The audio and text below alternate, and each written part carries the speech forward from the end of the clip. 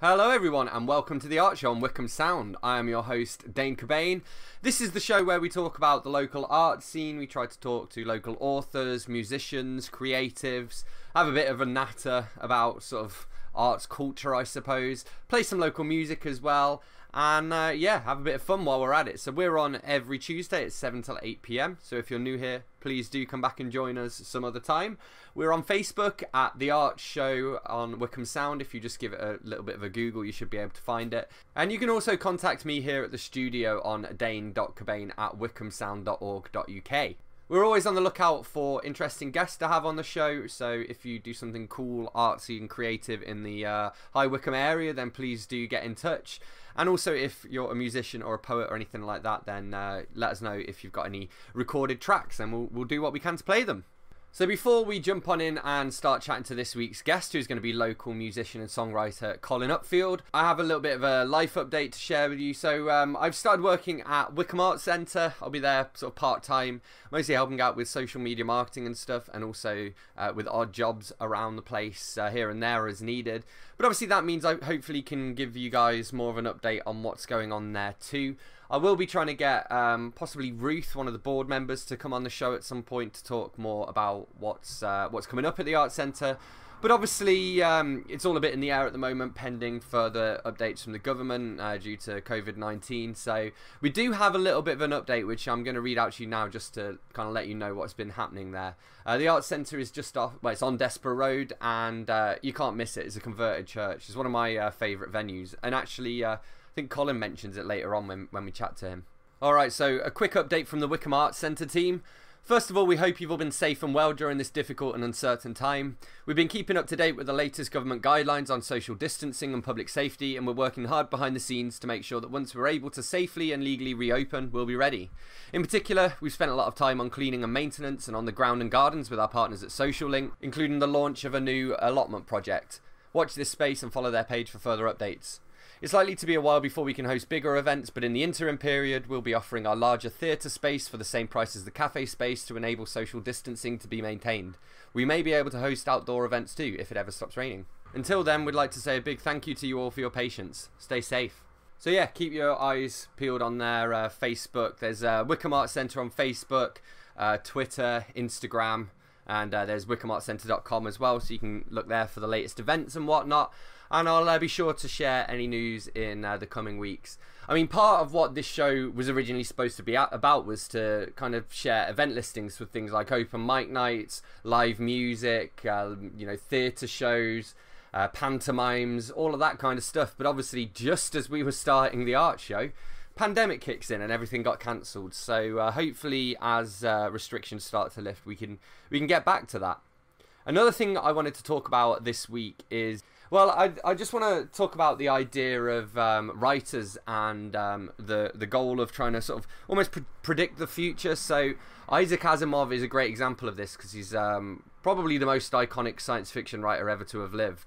And you know there are there are books of his where I've read where in the 1950s he was talking about climate change and um, a lot of the predict- predictions he makes about AI and uh, the future of robotics are you know pretty close to the bone uh, today. And Asimov's also responsible for the three laws of robotics, which um, basically govern how a robot can behave and stop them from harming humans and stuff.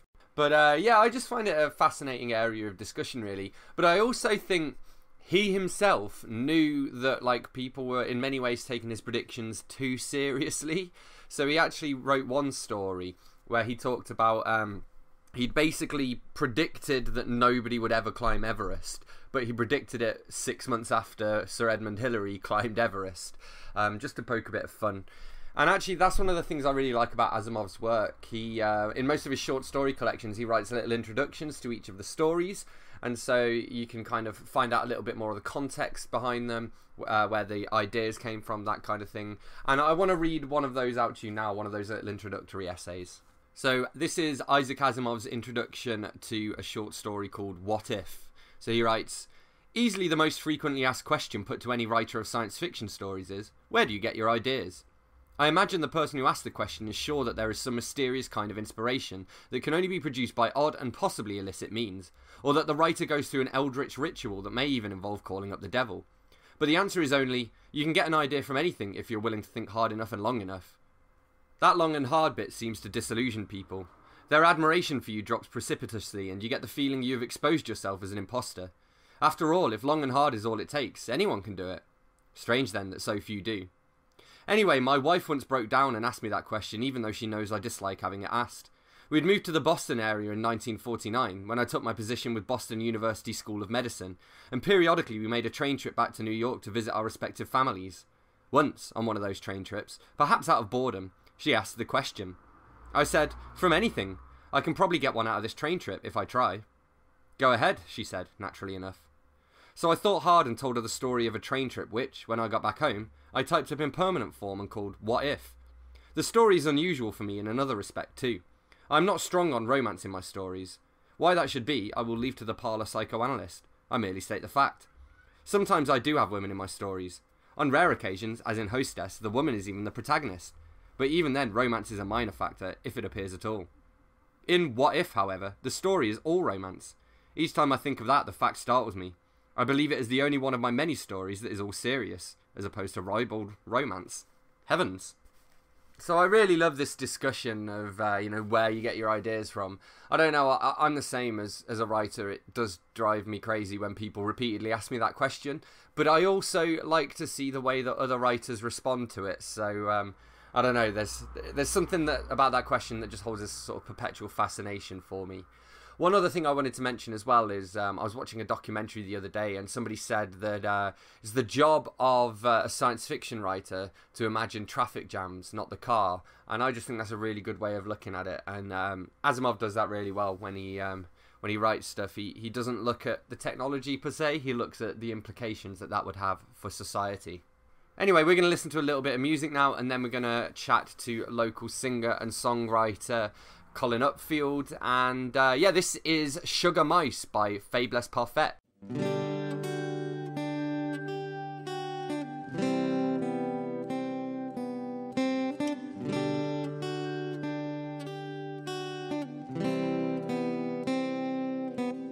I was flicking through the channels on the TV on a Sunday in Milwaukee in the rain, trying to piece together conversations, trying to find out where to lay the blame. But when it comes right down to it, there's no use trying to pretend. For when it gets right down to it, there's no one here that's left to blame. Blame it on me, blame it on me. We just sugar mice in the rain.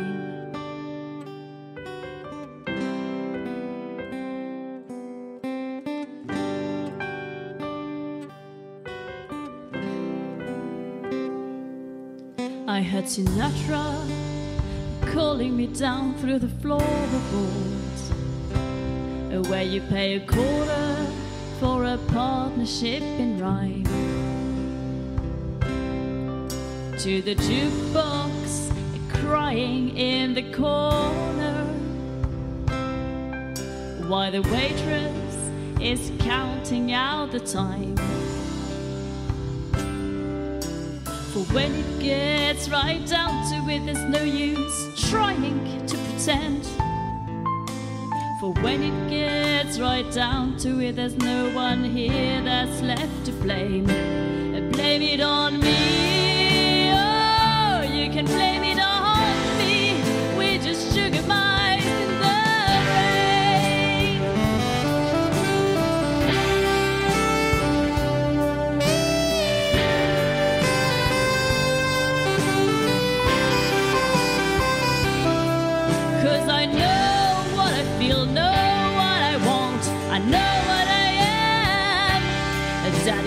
Daddy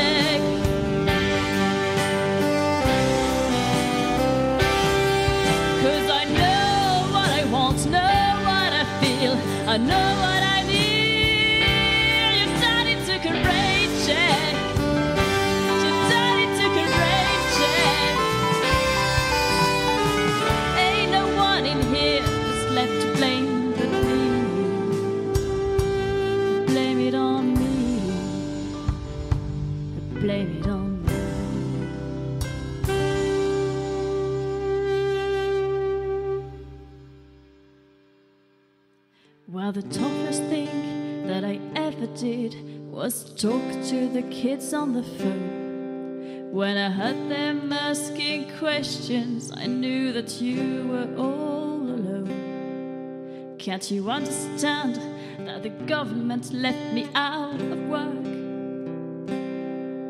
I just couldn't stand the looks on their faces saying, What a jerk. So if you want my address, it's number one at the end of the bar. Mm-hmm. Where I sit with the broken angels, clutching at straws and nursing our scars. Blame it on me, you can blame it on me. Sugar mice in the rain.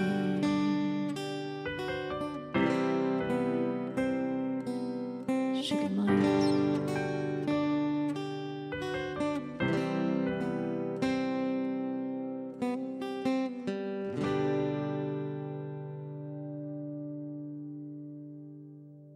Love music. Love talk. Love Wycombe Sound. Being a foster carer isn't just about providing vulnerable children a safe home. It's about loving, listening, and guiding. It's about changing their lives. If there's space in your home and you have the time and patience, then Nexus Fostering wants to hear from you. We're your local fostering agency, rated outstanding by Ofsted, and we're here to support you in supporting them with full training and a competitive allowance. For a career that really makes a difference, visit nexusfostering.co.uk or call 0800 389 0143. From the 1st of April, your new Buckinghamshire Council will replace the existing county and district councils and continue to deliver all the services you are used to. Visit buckinghamshire.gov.uk. Sunday evenings on Wycombe Sound. If your idea of a fun festival experience is a mashup of metal, grime, blues, folk, pop, with a smattering of electro, hip hop, Indian grunge, and not forgetting punk, then join me, Paul, for the alternative Wixtape at 11pm on Wycombe Sound 106.6 FM every Sunday. I can even guarantee that the weather will be fine. This is Wycombe Sound.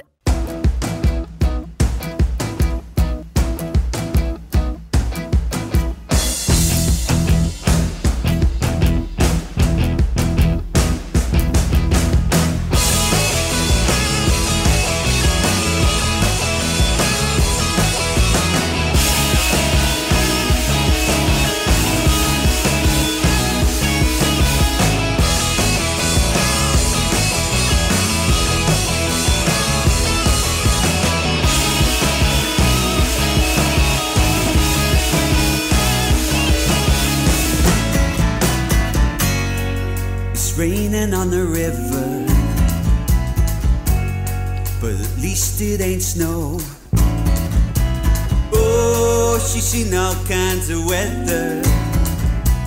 Oh, and yes, and yes, she knows.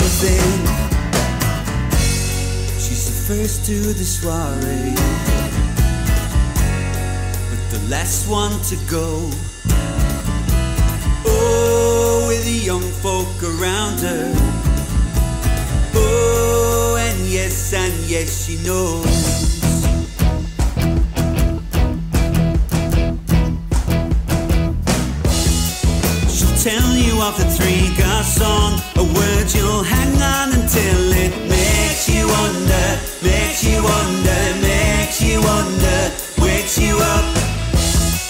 She'll make you wanna fall in love for a reason you don't understand, and it makes you wonder, makes you wonder, makes you wonder, makes you stop.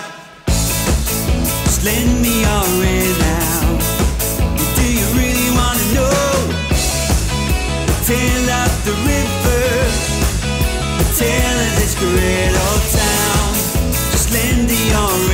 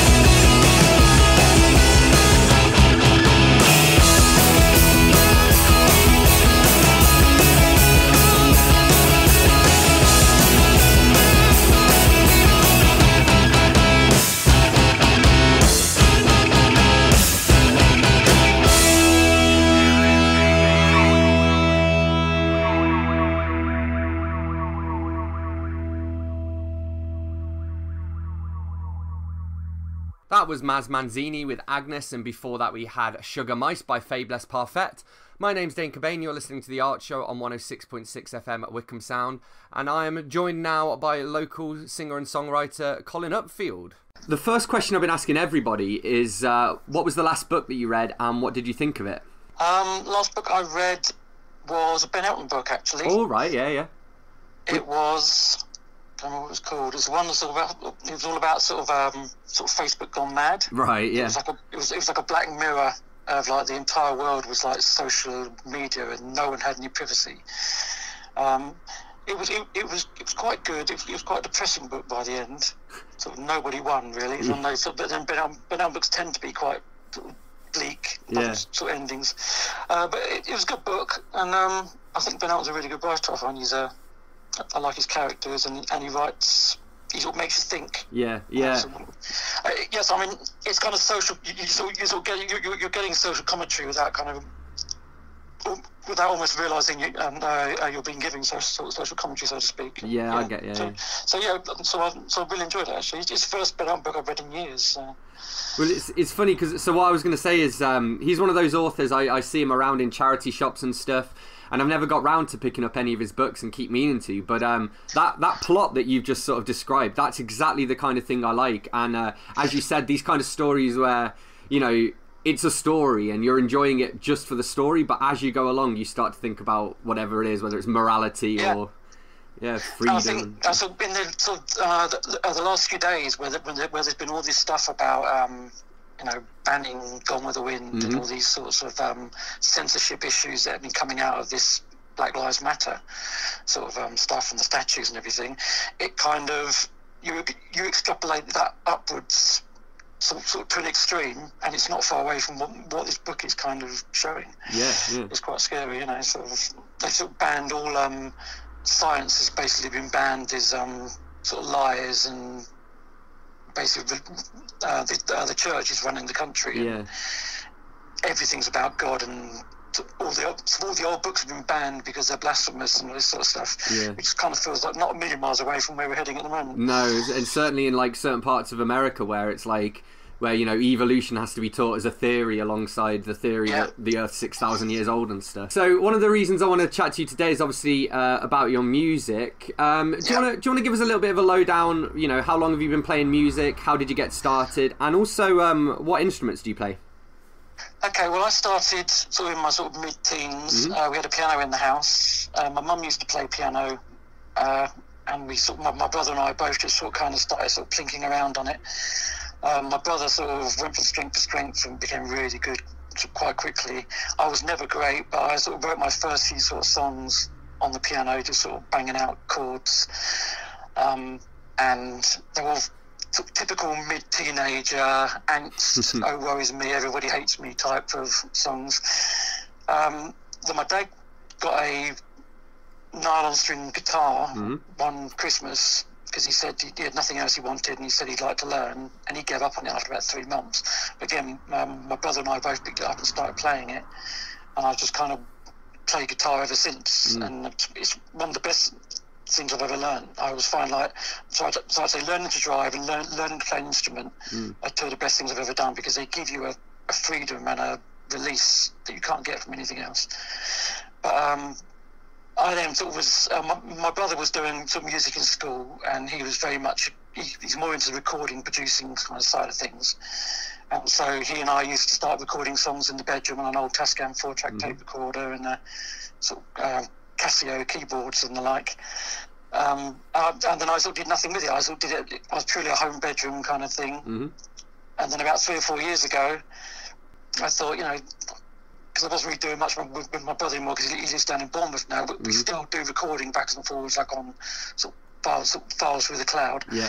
But um, I thought, no, you know what, I'm going to go out and do it. So I went out and sort of did an open mic locally. Mm-hmm. First one I ever did, absolutely terrifying. The first time I did, but sort of put me out of my comfort zone. So I sort of and I enjoyed it, and I kind of got, got back into it, and been doing it ever since, really.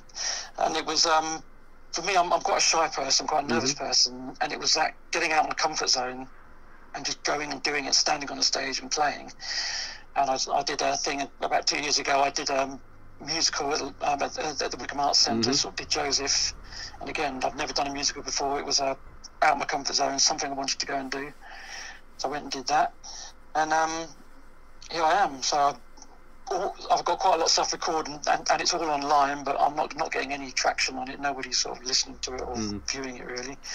Well, it's, I suppose it's a difficult marketplace as well because that you know there are so many musicians and now it's a global thing as well. So it's it's difficult to get heard through the noise. it's it's double edged sword. I mean, it's wonderful the fact now you don't have to get, get go and get a recording contract and be spotted. You can actually publish your own music. Hmm. But yeah, you and millions of other people, and it's a case of you. It's about. I think you're still in that position of almost getting a lucky break. Yeah, yeah, Uh, uh, uh, somebody hearing something and it going viral, and suddenly you go because otherwise you're just another sound in the crowd. I mean, there's so many sort of amateur and I mean, so even locally, but on, on YouTube, some uh, musicians and singers and writers are absolutely brilliant, yeah. but they're not getting the traction. And there's people that are you know, getting millions of hits on YouTube that, in my opinion, are- aren't, aren't, any better or even as good as some of those people. Because I've kind of noticed a similar thing as well. But do you think it's maybe because sort of on YouTube there's there's kind of a pressure to be an entertainer, I suppose, as opposed to being a, a pure musician, if that makes sense. I think um, on YouTube, there's an element of uh, the visual becomes relevant. Yeah, Um, I, I think you've got to have an quite a catchy video or, or something interesting happening visually, uh, because otherwise sort of people will just click on. And the trouble is, I think the attention span of people now in this this day and age is um, not very good at all. So Yeah. you've, you've probably got about 15 seconds almost to sort of catch someone's attention. I mean, I find so when, when you look at my stats on YouTube, sort of videos very sort, sort of very rarely get watched sort of beyond a minute. Yeah. And it's kind of they go, yeah, well, I've got the gist of that. I'm gonna, I've, I've got loads of other content I want to go and uh, consume as well. so Yes. I'm going to move on. And I, I think people don't. It's like with, with Spotify and all that. I mean, it's brilliant that you suddenly got millions of music, and, and you're not. You, and people people are ex- being exposed to a much broader range of music, which is excellent. Yeah. You know, in the old days, it was a case of most people, so so- certainly younger people, if it wasn't in the charts, they didn't get exposed to it. They didn't even know it existed. Some of them. So I think it's great that you can go around and get that. The other side of that is the fact that. Um, people don't listen to albums anymore. People just listen to playlists and Yeah. they listen to shuffle, and, and everyone just has a thousand songs in a list and they shuffle them. Yeah. So I think people don't, and you get a different experience sitting down and taking that time to listen to an album and listen to one artist all the way through and get that theme and that what, what they were trying to say and what they were trying to do. Yeah. I think that's been lost. I mean, so music again also has become a lot more um, throwaway, much more um, poppy, I guess. Yeah, I, I definitely think that when um, even when you just listen to what's on the radio and you listen to the lyrics, like I mean, maybe I don't know, maybe it's just a sort of sign of aging, but I'm sure like years ago, even even the most popular songs, you know, they would still sometimes would have some good lyrics, and I don't know things like. I don't know, like a song like "I Don't Like Mondays" or something. Which, when you think about Yeah. it, it's, you know, it's actually really, really deep. And then you put on the radio today, and it's just, you know, people singing about they're going to go out on Friday night. Yeah, I mean, I think it's. I think pop is all. I mean, I mean, I mean, if you go right back, I mean, you think about rock and roll. Hmm. I mean, most of those songs nonsense. Yes, and, no, and, yeah. and are very trite with their lyrics. But there's always been good and bad. I, I think the other thing that's happening in modern pop music that I feel is there's a death of melody. Mm-hmm. Everything's very um, monotonal, um, and pop music's become much more about the rhythm Yeah. of it and the, and syncopation of it rather than the actual melody. You can't hum most pop, modern pop songs because they're almost on a single note. Yeah. lot of them. And I find that's um, and I'm very much into the words and, and, and into a good melody that you can sing along to. yeah. So I find that sort of why modern music doesn't really grab me. And um, I want to want to touch on um, obviously you, you mentioned that you're a songwriter, and you've just Yeah. talked about you know you, it's important to get the melody and it's important to get the lyrics. So what what does the songwriting process look to, look like to you? Do you start with one of them first, or how do you go Um, about it? gem- generally, I'll start with the words. Quite often, I'll start with a phrase, Mm-hmm. Yeah, and then um, then it's just a case of noodling around on the guitar normally until I get something. Um, I find I'm much better writing verses than I am choruses. I'm, I'm, I'm not good at hooks, and I think also because of the, the tendency when you're playing like a rhythm guitar and singing, you don't leave gaps in the music. Yeah. So you don't so you don't have riffs and you don't have those um, musical hooks. You tend to all the hooks come from the vocal and come from the melody. And I think that you, you listen to most great hooks in songs, and they're normally not the vocal. They're a, a really great guitar riff, or a really good keyboard line, or a saxophone, you know, blast, or something like that. So I find it's hard for me to write catchy songs in that respect.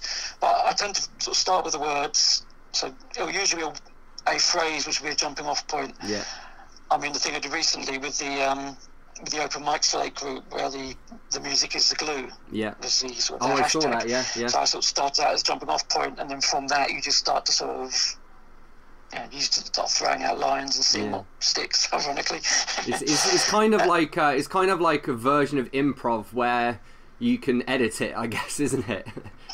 yeah, I think it's um, and it's been quite so. There's been some of my older songs where I've gone back, and there's sometimes you, so I can see a line in a song where the only reason it's there was because I couldn't think of anything else that rhymed, Yeah. you know, and it kind of just is there to kind of fill in that gap.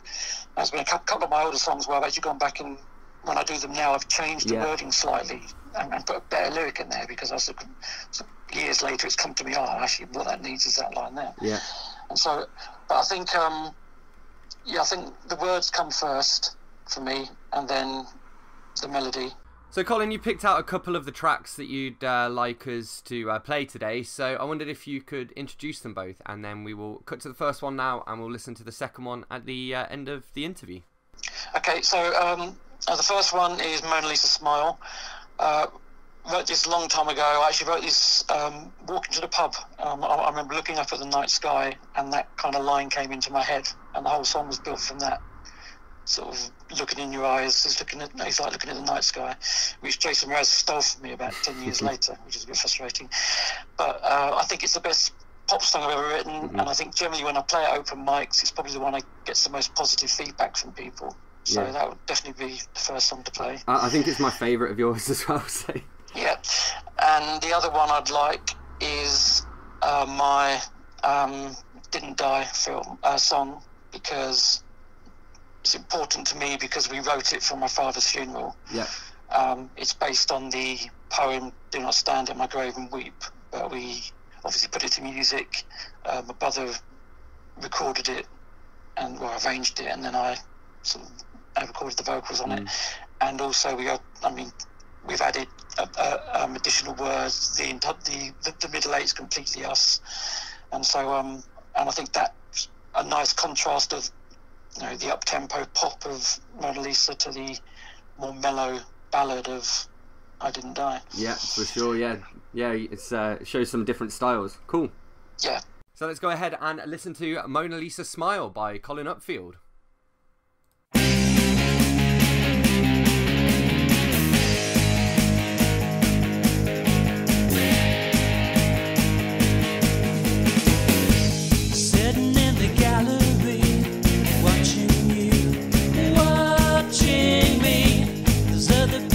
I could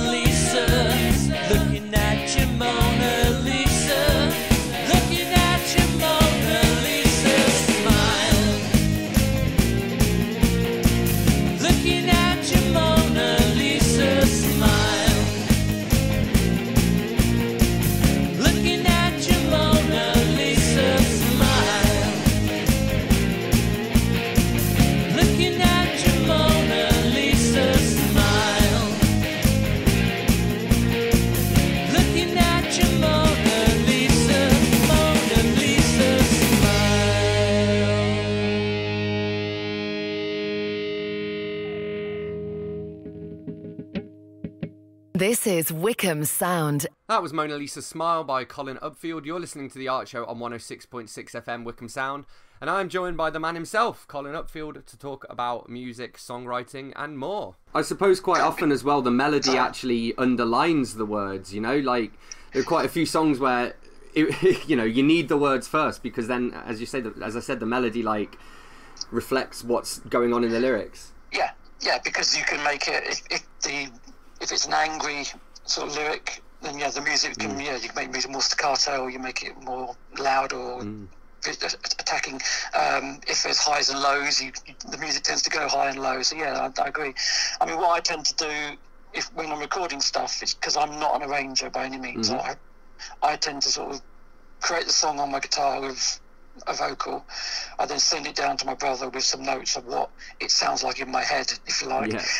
and then he'll knock up a mix, send it back, and we'll and, and we'll back and forth for a couple of days until he comes until we're both happy with it, and then I'll lay down some vocals here, send those down to him, and he'll mix it all and back and forth again, and then we we'll talk about some harmonies and the backing vocals, and so it, it's quite an interesting collaborative process, but it the file thing makes it quite long-winded. Yeah, yeah. Uh, we we did, a thing a few years ago. Um, uh, my, my brother wrote the music from for my uh, my best mate's uh, wedding for Mhm. signing the registry, and so as a, a thank you for that, he bought um, a studio afternoon for me and my, me and my Oh, nice. So we got together in the same room, which we hadn't done for a long time, and actually worked together to create a song, and cracked out a song in an hour. You Yeah. know, and it was just because you uh, you can't bounce off someone creatively remotely when, when someone's in the same room.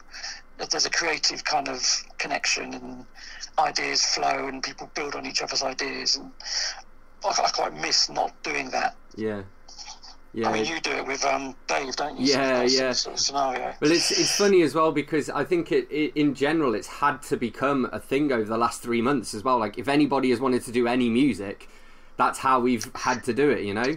But I almost feel like that that might actually be a good thing because even moving forwards, you know, I just I think it could be a good thing to sort of I guess to learn to work a bit more like that. Um, obviously, when you're recording from home, you don't have access to like the high quality recording equipment, which is I I think Yeah. what's what's really missed. But you know, there's no reason why after the pandemic, you know, we can't almost still be recording remotely. You know, going into a re- studio one at a time to maintain social distancing and whatnot, and be mixed by someone 200 miles away because we're all kind of used used to doing it now anyway. Well, we did it. I mean, we actually did it sort of not this Christmas, Christmas before. Mm. Um, my, my brother and a, a group, of, group of his mates who were, all- who were all musical, and we did a version of "Dylan Knows Christmas." yeah, And there were 15 of us on that record, and not a single one of us ever met. Yeah. So we all literally just we all recorded the vocals in our bedrooms, and then we all recorded like a a, a face video of us singing it. So Yeah. e- exactly what people are now doing for these for, for these Yeah. lockdown sort of, collab, sort of collaborations, we did 18 months ago. so you're the innovators then.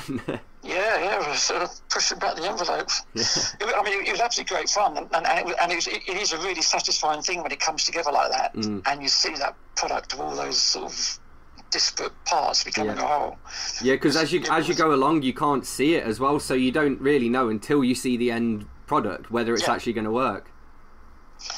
Yeah, so I've enjoyed that. But, I've been working remotely with, my brother for Yeah. years, so it's not that unusual for me. But I do miss that thing, and I've not really worked with many other people. Yeah, I've found on the other occasions where I've done it, so musicians have a tendency, if they get together without any kind of direct purpose, to just end up um, sort of noodling themselves in corners and not really actually getting very much done from my experience. and so um, I want to follow up with you mentioned earlier that you you know you you started going to open mics, and obviously that's how we know each other as well. And I was Yeah. just wondering, sort of, what are some of your favourite open mics in Wycombe when when they're on, obviously. Um, the, um, the first one I did was Rose and Crown, which is Mm-hmm. obviously sadly gone now. I mean, they still do it, they're doing, but oh, Cedric's not there anymore. Yeah. Um, It's more of a jam, I think, I really enjoy well. because what I like about the Arts Centre is um, a it's a stage, which, which Mm-hmm. not not many of these ones are, so that's nice. You get it's got a decent sound system, and it's a much more um, considerate audience in mm-hmm. that I, I, I find a tendency when I'm in a pub that I have to do covers Yeah. because people people don't want to hear your original stuff. They just want to hear something they can sing along to or hum along to if they want you to be there at all. And I find the arts centre you can be a bit more experimental. You can you can try stuff out and you can be a bit more play stuff you wouldn't play in, in other places, and you'll get you know, some positive feedback. Mm. I mean, I find and it, so I, I do that one regularly. I do the Bell in Princess Risborough. Mm-hmm. Um, which is never very busy, but I like it as a pub. And the down and, and the plus side of it never never being very busy is you get to do seven or eight songs. Yeah. So you actually get to do a mini set, which is always quite nice. Because I find it quite difficult if you've got three songs to actually pick three songs you want to do. And if Yeah. you do want to do an original, which ones you do? Whereas with seven or seven songs, you can kind of throw a few things in and still keep people happy and stick it. And you can stick an original in there without sort of upsetting the, the apple cart too Yeah. much. Yeah. So I do that one a lot. Um, and there's one in uh, Chalfont, uh, the Griffin, which I do, which is fortnightly, which, which I do at least once a month. And I really like that one because the guy who runs it's a really nice guy. And being over in Chalfont, not Chalfont, sorry, it's in Chesham. Right. So being over in being over in Chesham, uh, it's a completely different set of people, and Yeah. it's just nice to see some different musicians playing some different music because it's quite a small community. Yeah. mic in, in Wycombe, and you tend to meet the same people at every open mic you go to. Yeah, for sure. And Yeah. so, and most people have a repertoire of songs which, you know, you're, they're, they're unlikely to play a song you've not heard before Yeah, if yeah. you've seen them three or four times. I mean, myself included now. I, I do try and sort of put at least one new song in a month just for my own uh, sanity as much as anything else. Yeah. But I mean, I found with this um this open mic select group which Yeah. I've been doing on Facebook, and I've been posting a song a day, and that's been really challenging because I mean I'm in I'm in the high I'm in the high 80s now. Yeah, because it's been a, been a fair old while. Yeah. Yeah, and um, that's I found actually my it's improved my playing because Yeah. I'm because I'm playing every day, and I'm I've had to learn a few new songs along the way, and it's, I think my performance has improved as a result of doing those things. Just sitting there videoing myself, you can be a lot more critical, and you can sit and watch it back and go, actually, no, I need to change that and Yeah, move yeah. that. So I've actually found that's been quite um, beneficial to me. As well. I I think I will be a better performer Yeah. when we do finally get back in the pubs. Well, and, and you'll know your like your repertoire of songs better as well. You know, so Yeah, it's a win-win. And, and, and I'll have a few more in my Yeah. quiver as well, hopefully. I mean, th- actually, this was something I was going to follow up with because I hundred percent agree with you on the. Uh, well, on the, f- a few things really, where as you were saying, Wycombe's got quite a small um, sort of music community. Um, no, not in a bad way as well. It means it's quite not, uh, tightly knit, you know. But it, No, and, and they're, they're, they're a brilliant bunch of people. Yeah. And like, you'll never ever have anyone you know, have, be nasty or have a bad word. I mean, everyone's really supportive and really positive. Yeah. And you just need that because there's people getting up there, bearing their souls, and they're not getting paid for it, and Yeah. they're not asking you anything. You know, they're not expecting anything of you, and I just think it's really great the fact that so, so everyone is really nice and really positive and really constructive, and you can learn and benefit from these sort of people as well. You know, you can sort of play with them. I mean, you get to sort of do a bit of jamming every now and again, which is always good fun. And Yeah, so I was going to say, so um, obviously one of the for me one of the benefits of that as well is that I can go to pretty much any open mic and I'll see somebody that I know. But a as you said, um, it does sometimes, especially if people only know a dozen songs or something. After you've seen them three or four times, it can get. Um, I don't want to say repetitive because I don't want to be mean, but you know, and as, but as you say, I mean, you're guilty of it too. So am I. We we, we we all are, you know. But hopefully this lockdown period one of the silver linings might be that when we are finally kind of all allowed back out of our cages hopefully everyone will have some new material I think, I mean, I, I certainly hope so. I mean, I know I'm going to have. I mean, there's been three or four songs which I've done at least where I've thought. I mean, there's been a couple that I've recorded that I've never done at an open mic. yeah and they've actually come out a lot better than I thought they were going to. So they're definitely ones that will be sort of, sort of getting added to my set list. yeah cool something to look forward to And, just as, and the sooner the better, frankly. I'm going a little bit. yeah we I'm missing the pubs and the music. I mean, I, I yeah, it was one of those where it's like after a week I was missing them. Now I'm really missing them, you know. cool. Um, I just got one last question um, to end on as well. Well, it's actually two questions, which is um, Yeah. what have you got planned next, and where can people find you online to follow you? Okay. Um, not got a lot. I mean, I've been, I've done um, three sort of live streams. Yeah. Oh, the uh, Chalet lockdown. sessions, right? So I mean, at the moment, um, planning next. I mean, it, it would have been Belfast this month, wouldn't it? Yeah. Well, I'm guessing that won't be happening now, unfortunately. Um, but I've been doing these live streams. There's a place. Uh, my my father-in-law's got a place in the Alps. Yeah. Like a like a chalet place, Mhm. and there's when we go over there, uh, there's a really good open mic scene, sort of in the local area, Mhm. and uh, it, it mostly English people. So, and again, it's really friendly, really welcoming. And, and I've been up there two, two or three times, and I know a few of the guys. And one of the guys up there is hosting this um, session site Mhm. where basically anyone can contact him and go, "I want to do a set," and he gives you a slot and a time, and you basically advertise it yourself, and you do live sets on there. So I've, I've done three on there. I should put, I should probably do another one of those at some point. Um, I'm still publishing my open mi- mic slate. I'm, Mhm. um, my aim is to get to the big 100 on Yeah. the daily. So 100 daily posts of a different song every day is my aim, and that's only about a week or so away now to Sweet. complete that. Yeah. Uh, my own stuff. Um, I'm on Spotify. I'm on Amazon. I'm on. Go- I'm, I'm, on, I'm on all the usual sort of media sites. Uh, I've got a YouTube channel. If you do a search for Colin Upfield, I'm on there. Uh, I've got a Bandcamp. Uh, there's a mini album on Bandcamp with all my recorded stuff on. Uh, again, so that's under Colin Upfield. So the advantage of, of having quite a unique surname is I can usually keep, so get to keep my entire name. I haven't got Yeah. to be Colin four seven three or something. Yeah. Cool. Um, um, my Facebook page, I've been publishing um, uh, like a weekly. Um, have you heard of Smule? yeah. It's like a karaoke app. Oh yes. So Yeah. I've, been Yeah. Yeah. I've, I've been publishing a weekly sort of karaoke performance Yeah. from um, Smule on my uh, Facebook page, and I've also got a Smule account, obviously, and there's a whole load of songs on there if people want to hear them. Cool. So yeah, I'm everywhere, but nobody, but nobody, nobody, nobody's listening to me. Well, hopefully some people will, will check you out after after this as well. Um, I have I have one last follow up question too, which is so you've got your big 100th post coming up. Have you Yeah. have you got a spe- uh, I can't say it. Have you got a specific song in mind? I haven't. Um, I was. I mean, I think. I think what, what I'm going to do is I'm going to complete the, the hundred, Yeah. and then I will repost my "Music Is the Glue" song Cool. because that because that was written specifically for that site, and that, and that will be. I will apart from the occasional post, then I think I will rest because um, it's getting harder and harder to um, obviously come up with new songs. Yeah. No, that sounds And like a the that I perfect. want to play it, and that's the difference. Yeah. Well, that's that sounds like the perfect way to end it as well. And as you say with Yeah. it, and then to to hit your hundred and then to repost that song, I think I think it's perfect. So cool. Well, hopefully uh, people will check you out, and then they'll uh, within the next week or so they'll be able to listen to the Yep. to music is the glue again. Thank you very much, Colin Upfield, for joining me. As he said, you can follow him online and whatnot, and uh, this is one of his tracks. So this is uh, "Didn't Die in Memoriam" mix by Colin Upfield.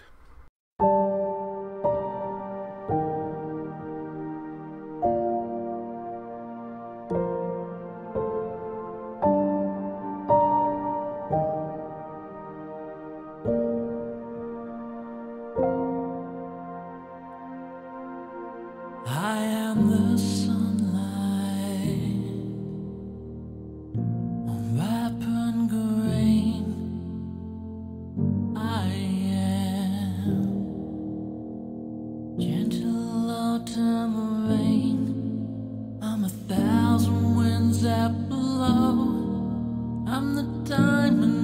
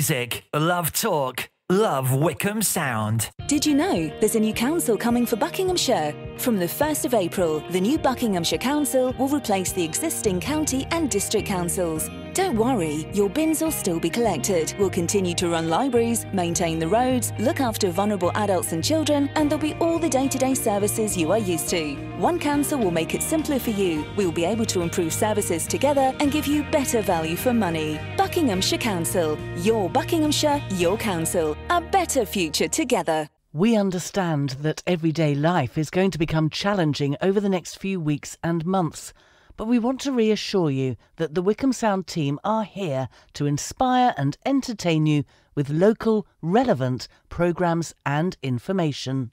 We followed government advice and set our team up to work remotely. We have taken all the steps we can to keep our team safe so we can be here for you. Local businesses. Perhaps you have closed temporarily or have found a new and innovative way of working. If you want to reach customers with your message, get in touch with us today. We can get through this if we all pull together. Please stay at home, stay tuned to Wycombe Sound for the latest information, and do get in touch with us to let us know how you're doing, if you'd like a song played, or just want us to say hello to you. This is Wycombe Sound. So now we've reached that part of the show where I share a book, a TV show, and or a movie, and uh, an album to keep you entertained till next week's show. So I guess we'll start with movies, and I- I'm gonna recommend the Karate Kid movies. Basically, I've got to the point now where I've watched everything on my YouTube list. I've watched everything on my Netflix list. I've basically watched everything that I already own as well. So um, for some reason, I was thinking about like old '80s movies. So over the last week or so, I've watched every Karate Kid movie apart from the 2010 or whatever remake, and I've also watched all of the Indiana Jones movies as well. Um, I actually really enjoyed the Karate Kid movies. I mean, they are a bit cringy, and in some places they haven't aged particularly well. But for just something sort of casual to have on in the background, they were all right. So um, yeah, I have no other reason to uh, recommend them. Really, they they're quite nostalgic things for me to rewatch. Uh, when I'm gonna I'm gonna go go and see my mum soon because we're gonna be able to form a bubble together. So uh, we're probably gonna watch Muppet Treasure Island again. I don't think it's the best film ever made, but it you know it gives me the happy feels. So yeah, this week, Karate Kid. Uh, for this week, for this week's uh, album. Sorry, I can't believe I've just recommended Karate Kid on on radio. Uh, I never thought that would ever happen. For this week's album, I'm going to recommend uh, Time the Revelator by Gillian Welch. So she's uh, a sort of a folky singer songwriter. She actually performs with her musical partner, David Rawlings, who is a really, really good guitarist.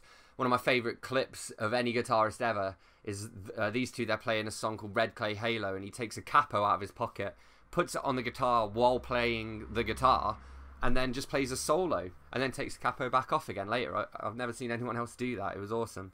Uh, this album, Time the Revelator, is, is sort of a concept album. Um, there are actually two different songs focusing around April the 14th. And this is uh, Ruination Day. It was the day that the Titanic sank, actually, very early in the morning. It struck the iceberg on the 13th, late at night. Uh, it was the day that President Lincoln got shot. I believe it was uh, uh there, there, was a massacre, some some sort of massacre in, in the US at, uh, on this date as well. So, kind of brings these all together. But it's one of my favorite albums in general, but I've been um, meaning to.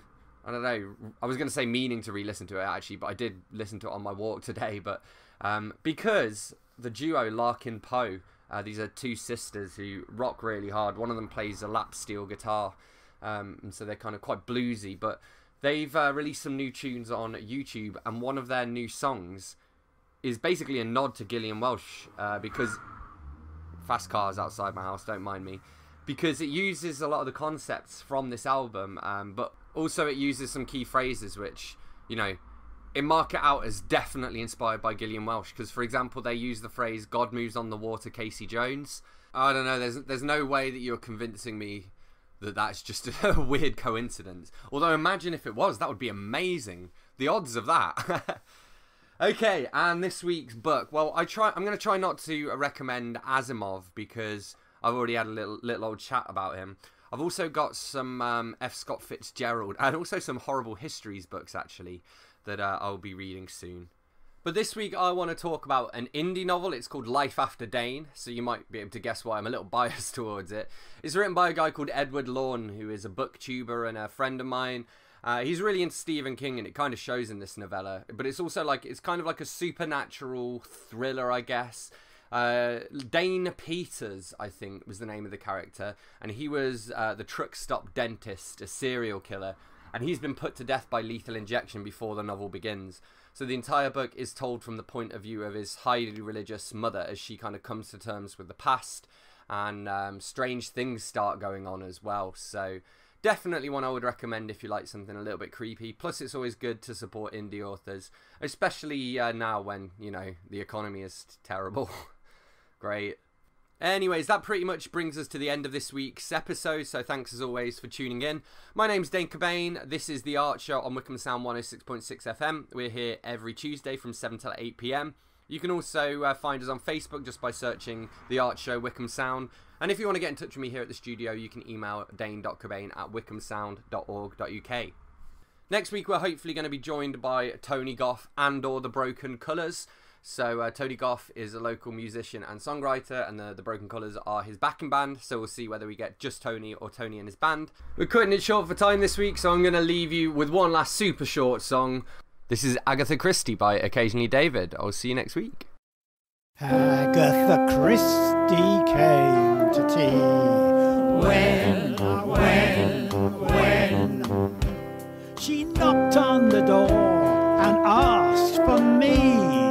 When, when, when she